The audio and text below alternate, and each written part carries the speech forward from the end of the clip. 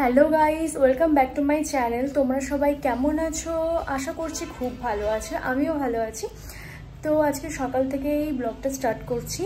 এখন চা করতে যাব, তোমাদেরকে দেখাচ্ছি। আর আজকে একটা স্পেশাল জিনিস লাঞ্চে বানাবো, সেটাও তোমাদের সাথে শেয়ার করব। অ্যাকচুয়ালি সেটা শেয়ার করার জন্যই ভিডিওটা করা। তোমরা তো টাইটেল আর থামনেল থেকে বুঝেই গেছো আমি কি বানাতে চলেছি হ্যাঁ? আমি আজকে বানাবো। আজকে ফার্স্ট টাইম বানাচ্ছি না, সত্যি কথা। আগে একদিন বানিয়েছিলাম, আজকে সেকেন্ড টাইম বানাচ্ছি। তো দেখি কেমন হয়। ফার্স্টের দিনটা তো ভালোই হয়েছিল, আজকে জানি না কেমন হবে। তো চলো দেখি। ফার্স্টে চা করিনি তারপরে আর কি বানাবো।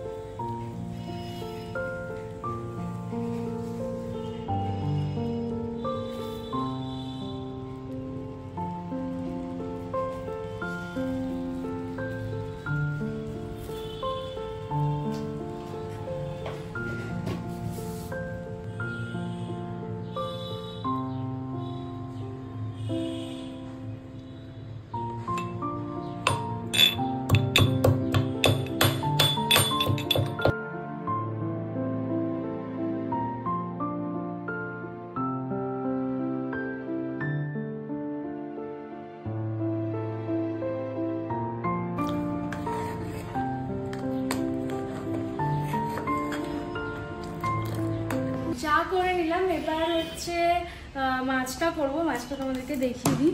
এই যে, এবার মাছটা ম্যারিনেট করে রাখব। ম্যারিনেট মানে কি? মাছের আর তো সেরকম ম্যারিনেশন হয় না। জাস্ট নুন, হলুদ, এগুলো দিয়ে সবগুলো করব না কটা করব সেটাই ভাবছি।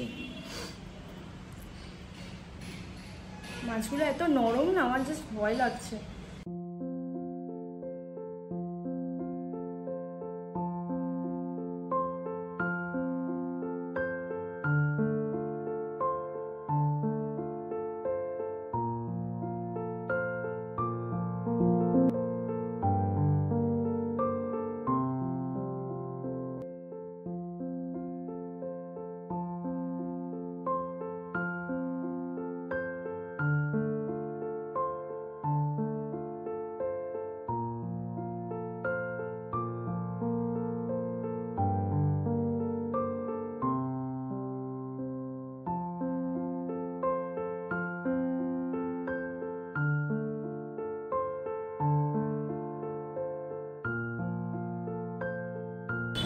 মাছটা তো নুন হলুদ দিয়ে মাখিয়ে রেখে দিলাম। আমি তো আজকে ভাপা করছি।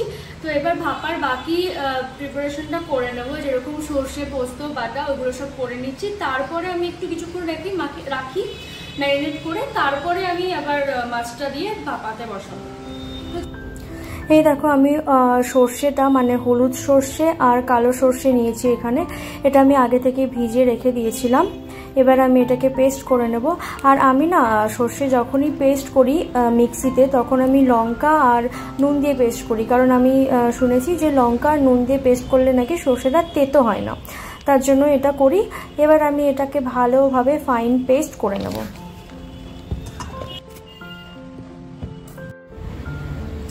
আমার সর্ষেটা একদম ভালোভাবে পেস্ট হয়ে গেছে। আর আমি এখন সর্ষেটা ছেঁকে নেব, কারণ আমি সবসময় সর্ষে বাটাটা ডাইরেক্ট দিই না। আমি এরকম করে ছেঁকে তারপরে সর্ষে বাটাটা দিই। এতে আমার, আমি শুনেছি এতে অম্বল গ্যাসের প্রবলেমটা অনেক কম হয়। তোমরা চাইলে ডাইরেক্টও দিতে পারো বা আমার মতন ছেঁকেও ইউজ করতে পারো। এখন আমি এর মধ্যে পোস্তও দিয়ে দিচ্ছি। আর পোস্তটা আমি আগে থেকে ভালোভাবে শুকনো অবস্থায় আর কি মিক্সিতে ভালোভাবে গুঁড়ো করে নিয়েছিলাম, যাতে ভালোভাবে এটার সাথে মিশে যায়। তো এইভাবে ভালোভাবে মিশিয়ে নিচ্ছি। এবার আমি আগে থেকেই দেখো, টক দইটা জল ঝরিয়ে রেখেছিলাম। টক দইটাই একদম জল জলে টক দই দিলে কীরকম একটা বেশি জল জলে হয়ে যায়, তার জন্য আমি টক দই জলটা ঝরিয়ে নিয়েছিলাম। এবার টক দইটা দিয়ে ভালোভাবে এটাকে মিশিয়ে নিচ্ছি।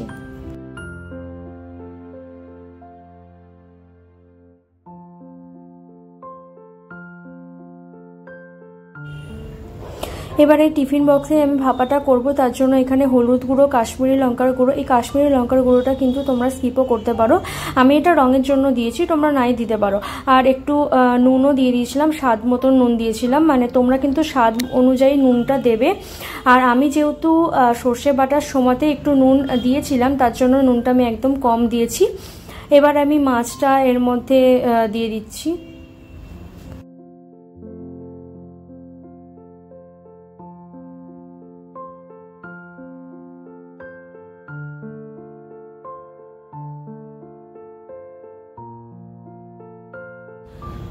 এবার দেখো বাদ বাকি সর্ষে বস্ত বাটাটাও কিন্তু ওপর থেকে আমি দিয়ে দিচ্ছি।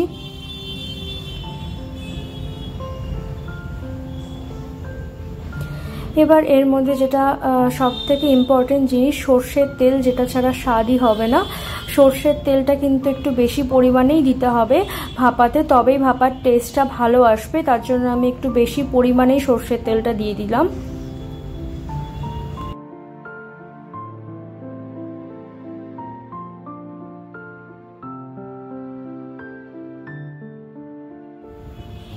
এবার আমি কয়েকটা চেরা কাঁচা লঙ্কা দিয়ে দেবো। তোমরা কিন্তু ঝালটা যে যেরকম ঝাল খাও সেরকম দেবে। আমার বাড়িতে সবাই একটু কম ঝাল খায়। তার জন্য আমি এখানে চারটে লঙ্কা দিচ্ছি। তোমরা যেরকম খাবে সেরকম দেবে।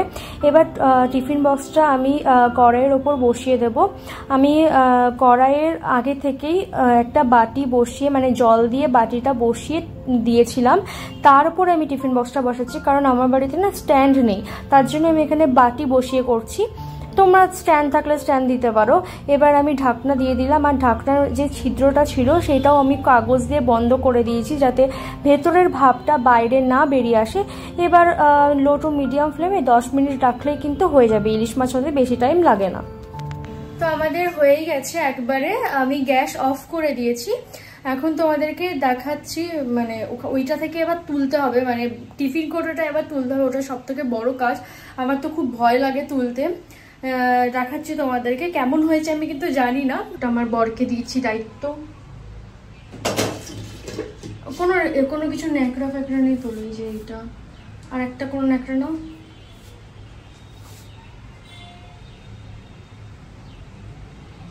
পাচ্ছ? এই যে এখানে রাখো। খুলো দেখি। টিফিন, এটা এটা দিয়েই খুলো। হ্যাঁ ওরকম করে খুলবে না এই যে এইটা এরকম করে করতে বাহ ওটা এরকম করে করে হ্যাঁ ওটা ওরকম করে খোলো ওটা ধরো।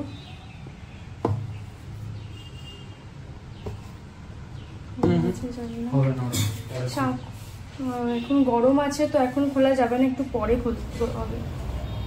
এখন ফাইনালি খোলা হচ্ছে। এই দেখো দেখতে তো ভালোই হয়েছে। এবার খেতে কেমন হয়েছে সেটাই দেখার। আর গরম ভাতে তো জাস্ট জমে যাবে। তোমরা কিন্তু অবশ্যই এটা বাড়িতে ট্রাই করো আর জানিও কেমন হয়েছিল। তো তোমরা দেখতেই পেলে আমার ইলিশ মাছ ভাপা একদম রেডি হয়ে গেছে। এখন খেয়ে নেব। আর তোমরা ভিডিওটা এনজয় করো। আর কেমন লেগেছে তোমাদের ভিডিওটা অবশ্যই জানিও কমেন্টে। আবার তোমাদের সাথে দেখা হবে নেক্সট ভিডিওতে